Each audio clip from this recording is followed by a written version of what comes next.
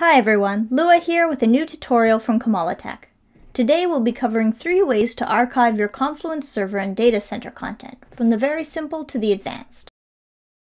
No one likes a messy document repository.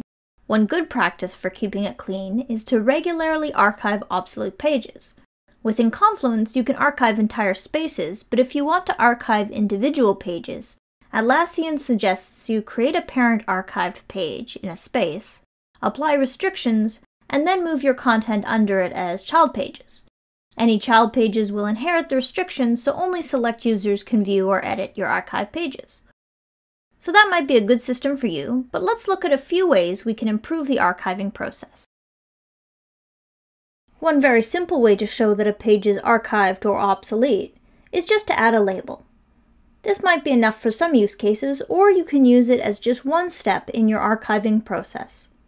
If you want to add the archive label to several pages at once, our app Comala Lists is a great fit.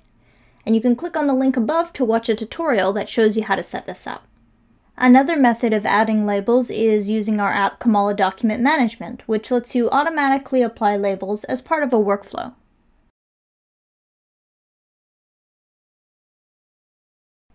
That brings us to the next archiving method, expiries. Let's say you want a page to be archived after a certain date.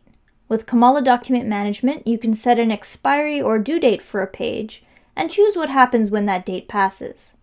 You can require another review, send the page to an archive state, or automatically add your archive label. We have an entire video on expiries, so click the link in the corner to check that one out. Finally, the most advanced way to archive content is with scripts. One example is the free PowerScripts app that can actually work together with Comala Document Management. Configure your workflow with an archive state, and when the approval process for a page hits that specific state, the script will automatically move the page to an archive space.